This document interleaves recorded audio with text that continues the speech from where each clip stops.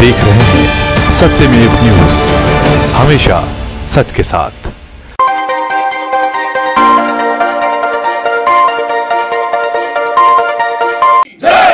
भारत माता की! भारत माता की! भारत माता की!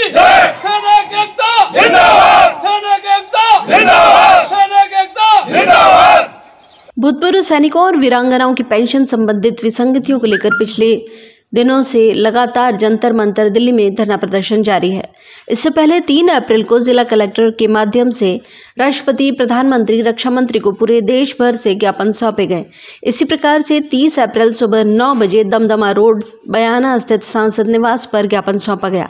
आज के दिन लगभग पूरे देश में क्षेत्रीय सांसदों के माध्यम से ज्ञापन सौंपे गए हैं। ज्ञापन में सैनिक संघ के अध्यक्ष बलराम कांवर ने बताया कि उनकी सात सूत्री मांगों को लेकर पिछले दो महीनों से केंद्र सरकार से अनुरोध करते हुए उपस्थित कैप्टन चतर सिंह, मौलानी कैप्टन जय सिंह, फौजदार कैप्टन श्रीराम सिंह, सूबेदार प्रेम सिंह, सूबेदार क्लर्क राधेश्याम छाबड़ी रामलाल जी भगत, पूर्व पटवारी संघ अध्यक्ष देवी सिंह पटवारी बुद्धि सिंह, पूर्व अध्यक्ष गोवर्धन सिंह, अध्यक्ष रूपबास करतार सिंह, कसाना आदि मौजूद रहे। सत्यमेव न्यूज़ के लिए बयाना से देवी सिंह, प्रजापत की विशेष रिपोर्ट। तो रूप कहना चाहती हूँ कि जिस तरीके से पूर्व सैनिकों की बहुत समस्या होती है, उसको लेकर के मैं माननीय अ, रक्षा मंत्री जी से। और मैं लोकसभा के अंदर ये प्रस्ताव रखूँगी और निश्चित रूप से मुझे विश्वास है माननीय मंत्री साहब पर कि इस पर संज्ञान दिया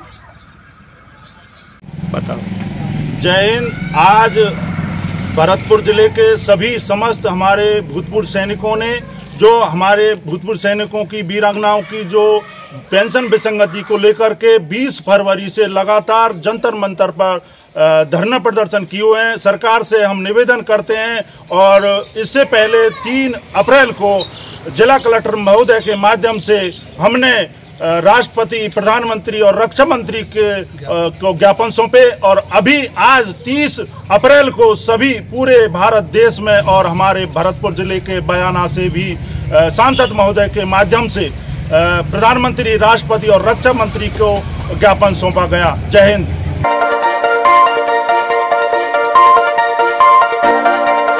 Information entertainment employment education और लेटेस्ट न्यूज़ यूट्यूब पर देखने के लिए सब्सक्राइब करें सत्यमेव न्यूज़ और प्रेस करें यहाँ बने बेल आइकन को ताकि आप हमेशा हमारे हर वीडियो से अपडेट रहें।